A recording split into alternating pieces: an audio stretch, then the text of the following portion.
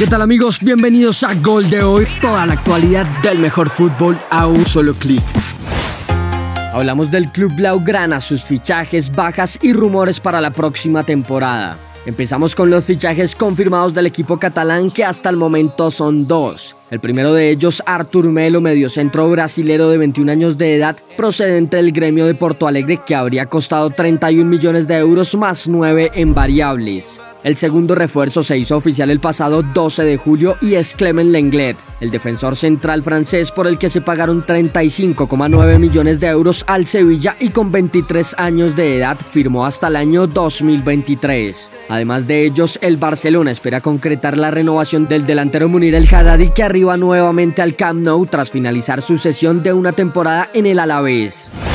Del Barcelona B suben al equipo profesional cinco jugadores que estarán con la plantilla esta temporada. Ellos son Carlos Aleña, mediocentro de 20 años de edad, Marc Cucurella, lateral izquierdo de 19 años, Adrián Ortola, arquero de 24 años, Sergi Palencia, lateral derecho de 22 años y José Manuel Arnaiz, quien es extremo izquierdo y tiene 23 años de edad.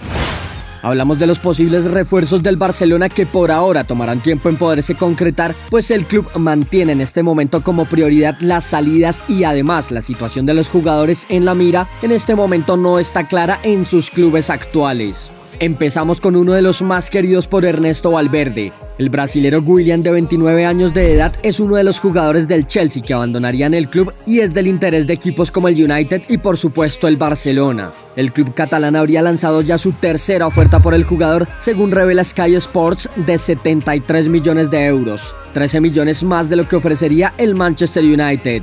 La velocidad del jugador, su remate al arco y su sacrificio en defensa son las características que llaman la atención del Barcelona, a pesar de ser un jugador que el próximo 9 de agosto cumplirá 30 años de edad.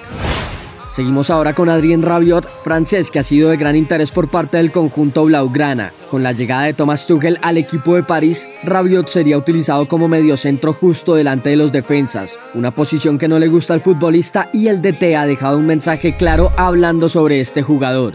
Él debe decidir si se adapta a nuestro estilo o si va por nuevos desafíos. Tras estas palabras y la negativa del Ajax por De Jong, Rabiot se acerca más al Barcelona y dependerá de él mismo si decide renovar o no en el PSG.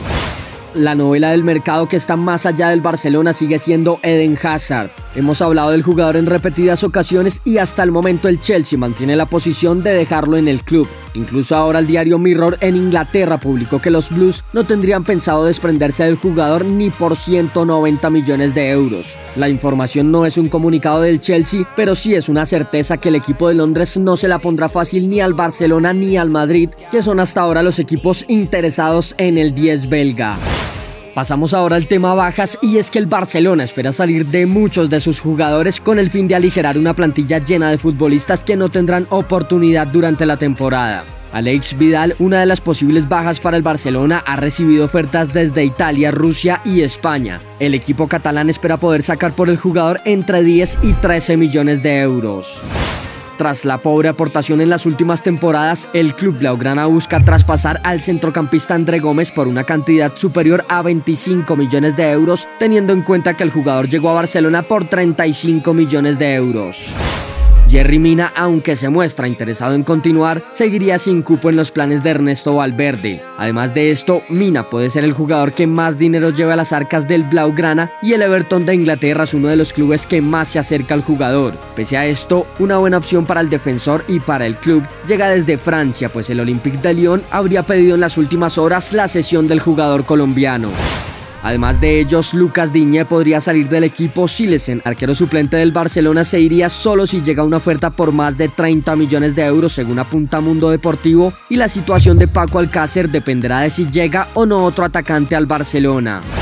Las salidas confirmadas del equipo hasta ahora no son muchas. Primero, la ya conocida baja de Andrés Iniesta que hoy debutó en Japón, la marcha de Paulinho por 50 millones de euros, 10 más de lo que habría costado el año pasado, y la venta de Gerard Deulofeo quien se encontraba a préstamo y finalmente fue comprado por el Watford en una operación trazada en 13 millones de euros más 4 en variables.